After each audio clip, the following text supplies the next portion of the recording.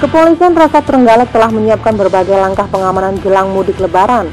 Langkah-langkah pengamanan ini sudah dilakukan sejak awal jauh sebelum musim mudik lebaran tiba. Demi menjaga keamanan dan ketertiban masyarakat mulai sebelum mudik lebaran tiba, Polres Trenggalek sudah melakukan operasi cipta kondisi yang lebih ditingkatkan.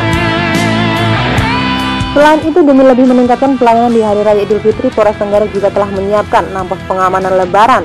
6 pos polisi tersebut akan ditempatkan di Kecamatan Durenan, pusat kota, dan yang tiga pos ditempatkan di tempat wisata yang biasanya menjadi tujuan utama wisatawan.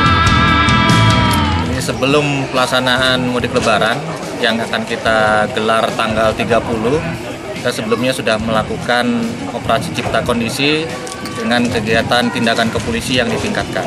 Kemudian untuk kesiapan operasi Ramadhania Semeru 2016 ini kita sudah menyiapkan sebanyak 6 pos pengamanan yang ada di Durenan, kemudian yang di pusat kota, kemudian tiga di tempat wisata. Jadi seluruh personil nanti akan tergelar resmi mulai dengan tanggal 30 bersinergi dengan stakeholders yang lain. Pelayanan pengamanan pada pos lebaran ini akan berorientasi pada pelayanan yang lebih baik kepada masyarakat. Meski ada penilaian atau tidak dari atasan pelayanan terhadap masyarakat akan selalu dimaksimalkan dengan cara bersinergi dengan stakeholder terkait ada ataupun tidak penilaian tetap orientasi kita adalah pelayanan masyarakat kita siapkan yang terbaik atas dukungan dan restu tentunya dari Bapak Bupati.